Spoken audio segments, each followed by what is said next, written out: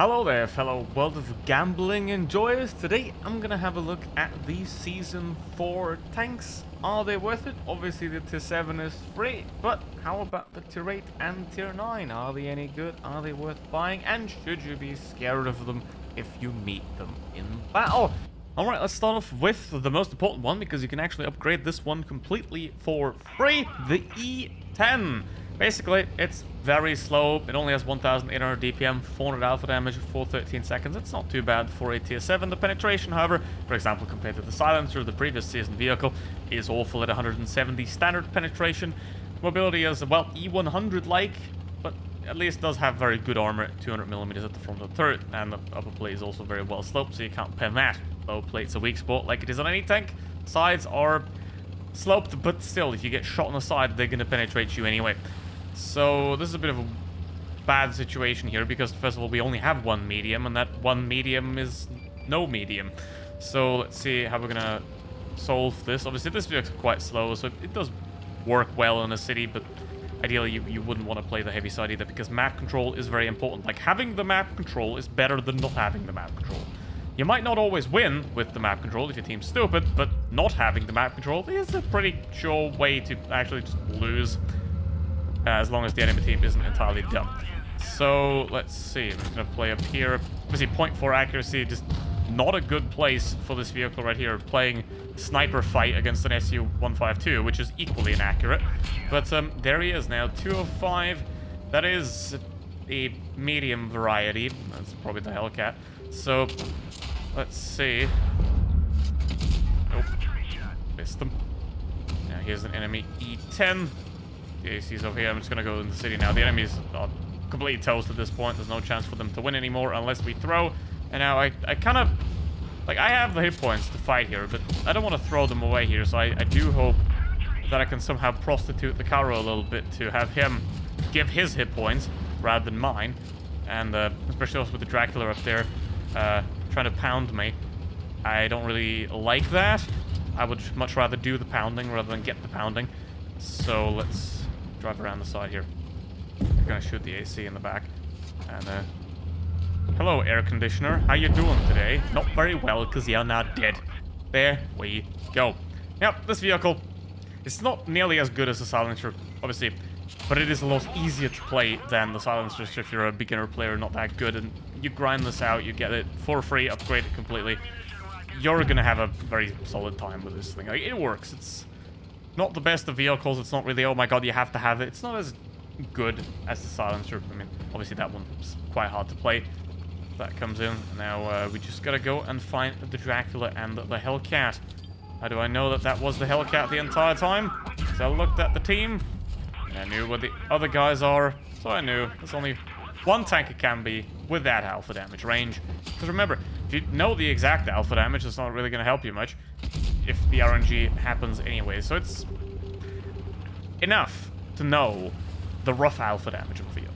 You don't know exactly, oh, this thing has 240. Just, it's got somewhere around 250.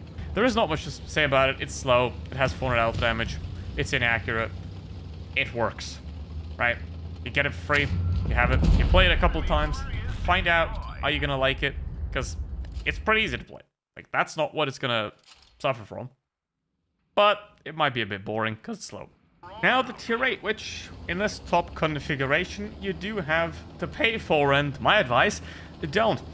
This vehicle, 2600 DPM, 310 alpha damage, 3 shot autoloader with 2.2 seconds clip. Very good accuracy right here. I mean, basically the opposite of the E10. It is very accurate at 0.3. So, that's not bad. Now, it's also a lot faster, uh, but obviously it is an auto-loading tank destroyer, which, uh, well, like tank destroyers, but nonetheless, let's see what we can get out of this vehicle. Sort of has 45 degree limit to left and right, which is not the worst. Could be better, but um, it's basically just a 183 that they shrunk down in size and plonked this tiny little autoloader on with, well, not really that tiny. It has 310 alpha damage, so you can put out 900 in 4 seconds. 4.4 seconds. But, uh, yeah, let's get rid of that. 65, and I'm going to reload. Now, the reload, 16 seconds. So the gun on this vehicle is very good. Like, it's very accurate. You've got 244 millimeters of standard penetration that you need because you do have premium HE rounds. So no heat or APCR, you do have premium HE rounds on this vehicle. So you need those 244 standard. So let's see. T-26E5 uh, is going to pump him full of shells. Going to track him so he can't get away. 2.2 seconds is perfect to hold someone on the track, even if they're uh, just trying to repair that. They'll just hold them right there. Uh, the Progetto's probably sitting in a corner right there. Nope, he's there. So, yeah, all I've got to do now is go for this T-26. He is in clip range, so there's nothing you can do really. Just going to track him again and then take him out and then just completely claim his entire life unless it already gets claimed before that. Not too bad. Basically, the armor on this vehicle doesn't exist, so try to play it carefully. Don't push out into the open towards the enemy. Just wait for your clip to reload, unload your clip. That's 930 damage. You need two of those and you're well, basically average at that point. So that is not too bad. And now we're just gonna ignore that guy for now. Trying to find some damage here. We're probably not going to get it, uh, or I might get it because that guy just ex exploded. And, um, I mean, the MX is a bit of a problem here. It's going to try to protect this guy. Never mind, he's dead. Turn. There we go. It is surprisingly mobile for what it is, really. Um, I'm going to have to be very careful here because obviously the defender can be a problem. I'm going to go for reload here because I know that he didn't. Okay. 11 hit points. Just gonna get out of there, obviously because I'm gonna have to deal with that T-25 if the T-71 fails to do it, but he didn't, and now I'm gonna... He just missed. It's great, the IC defender just missed me. I probably shouldn't have missed that. It is enough. T-71 should. Never mind, he's dead. I'm gonna have to reload. 3,000 damage. That's not really all that bad. I don't know what I'm doing, but uh, yeah, I mean, it's an auto-loader. It works. Like, you just have to avoid getting shot by the enemy, which is what I'm pretty good at, so... Yeah, let's see. That's a very dumb move, IS-3. That's, that's a very dumb move. So, that's also a very dumb move, because I can traverse extremely quickly, surprisingly. So, uh, yeah. I mean, it's pretty... For a Tankstro, and... I'm gonna praise this vehicle here. Like, it works really well as you just saw. But is it worth spending money on to fully upgrade it? I don't know. It depends. Are you fine with the locked turret? In that case, wonderful. Do it. It is quite solid. No complaints. And after that, essentially highlight of the new season, we get to that. 2000 DPM, 630 alpha damage. As you can see, 20 second reload. 0.4 to 3 accuracy, which means you can hit something generally over there, but you're not going to hit anything accurately. Only 6 degrees of gun depression, and mobility that can be best described as that. So, not really going on too well. It does have some turret armor. Oh, with some, I mean 200 millimeters, which is completely flat here, which means you can just pin the turret anyway. And uh, at 6 degrees of gun depression, you can't really go hull down with the vehicle. So, it's a dirt mean tank. That's about it. So, um, while the T-Ray might possibly be worth a consideration to purchase if you are interested and can afford it, and uh, this vehicle is very much not. So, let's see. Should be pretty easy to win now. The enemies are... Uh, I forgot to turn off Supremacy again. God damn. That's the one downside of having a press account. You have to remember to turn Supremacy off. So let's see. It's gonna Take that, and now we won. How about that, enemy heavies? Do you still feel that you made the correct choice? No, you don't.